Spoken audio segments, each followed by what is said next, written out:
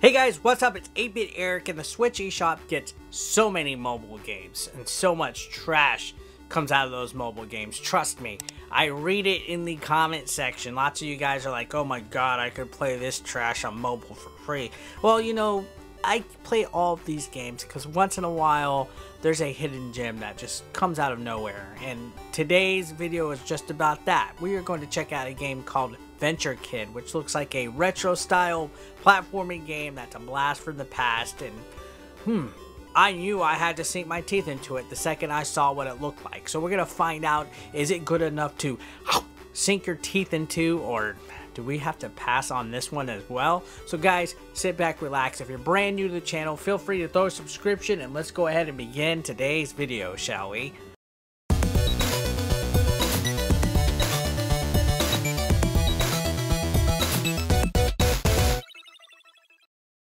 So Venture Kid, it's no freaking obvious reason that uh, it is a Mega Man clone. It pays homage to one of the most most spectacular NES games and most wonderful video game franchises of all time. So many games have been a clone of Mega Man. Most recently we had Metagal and I was like, you know what? I'm going to go ahead and try to check out Venture Kid just because it looks like it could potentially be another great Mega Man clone. So with that said, I was like, oh man, it's a mobile game. I saw that it was a mobile port and lots of times that means it is something that is just shit when it comes to the Nintendo Switch, but I gave it a shot because the price is $4.99. You cannot beat that.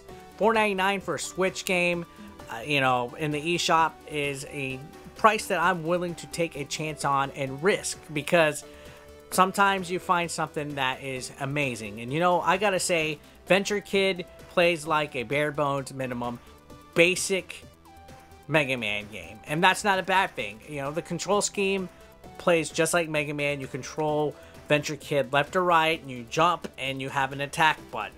And, it, you know, even the animation and the sprite looks like something straight out of Mega Man. It, it's almost a little too much of a copy clone.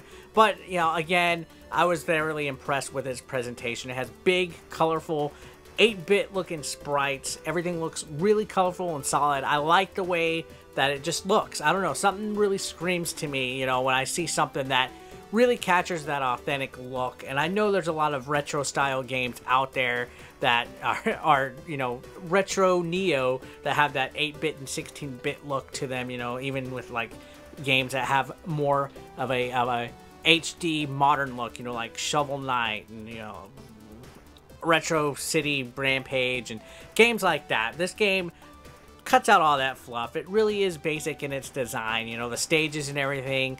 They, they're stretched out, and I think that's mostly because of the, this being a mobile game. However, I do like how colorful it looks again. Like I said, I like the presentation, the music, everything very solid. And the controls, not bad either. If you're able to play Mega Man, you, you can play Venture Kid. And it's almost to the T perfect. You know, the stages are a variety of different localities. You know, you got like the forest, you got a city, you got a volcano, you got a jungle, you have an ice stage, all sorts of, you know, basic environments. And, and at the end of the level, you encounter a boss. And the boss fights not too tough. As a matter of fact, I would say this game is actually pretty easy.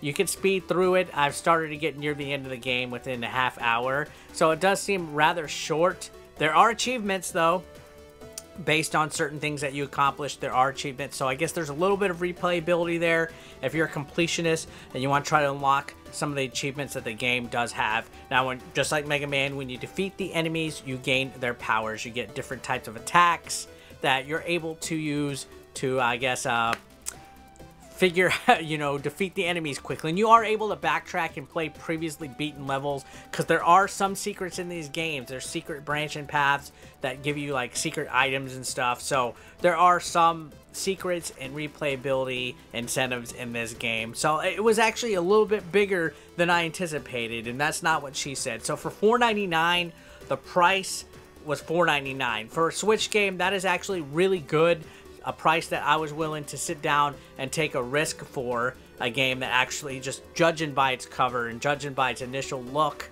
I was like, you know what, I, I gotta risk risk that. You know, it looks like a really good Mega Man clone. The price is great, and you know, I'm gonna go ahead and show you guys exactly what the game looks like with some uh, gameplay footage. So let's go ahead and test it out. Alright, boys and gals, so this is Venture Kid. As I mentioned, it's very, very NES-like. It's a, such a nostalgic trip. Let's go ahead and do classic mode. I do have a game going on. I've I, have played all the way to almost the last two stages. But as you can see, it has a very Mega Man-ish vibe. I mean, obviously, look at this little cute little fucker that we get to play as. You have a basic weapon, then you have different power-ups that you get from beating the bosses that are used to uh, to give you an advantage. So if you if you if you like playing stuff like Mega Man and old school games like that, you'll definitely like Venture Kid. Um, obviously, the graphics are inspired by old school NES classics, Master System classics. Um, the basic gameplay is the same as well. Um, and yeah, it's uh, overall, I think it's a very solid little, little nostalgic retro style video game. I know you see a lot of these in the eShop and stuff.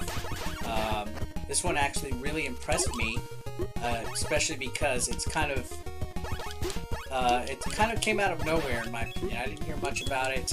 Um, and I, I, am really glad that I got a chance to check my my my time or my teeth. I'm, I'm flabbergasted here with what I'm trying to say, but really glad I got to sink my teeth into it. So uh, yeah, as you can see, pretty classic, basic game, but that's not a bad thing. Sometimes keeping it simple is the way to go when it comes to to games.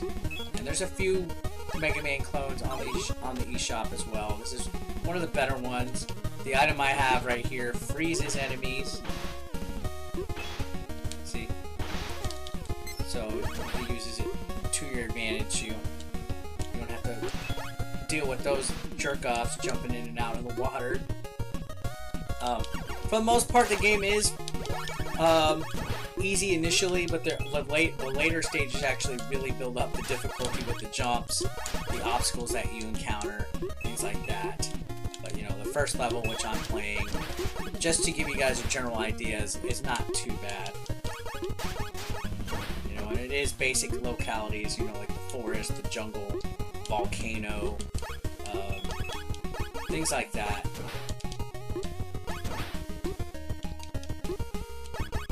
So we're coming up to the boss fight, the initial boss fight, which this is like a...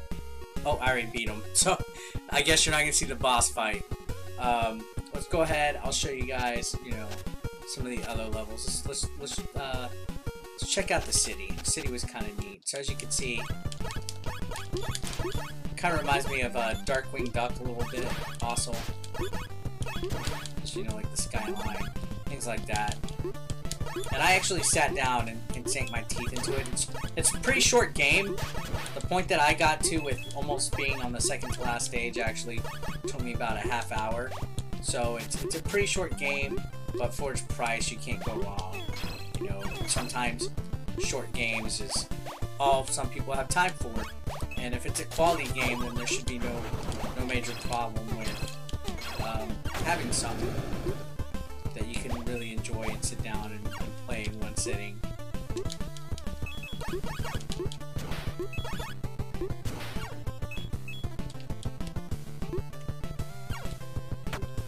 Sometimes some of those jumps do scare me. I'm like, make it! you know, the kind where you kind of move and kind of squeeze your bubble a little bit. You're like, oh, I hope I make that jump. Yeah, it, this game's full of those. I hate those little UFOs, by the way.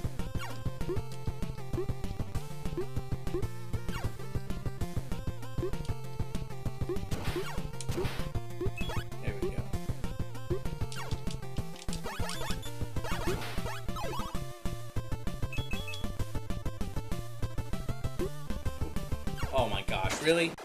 I guess I was supposed to shoot guy got through the platform, but you guys get the general idea. Let's go ahead and move to our closing thoughts. I, I could play this game forever.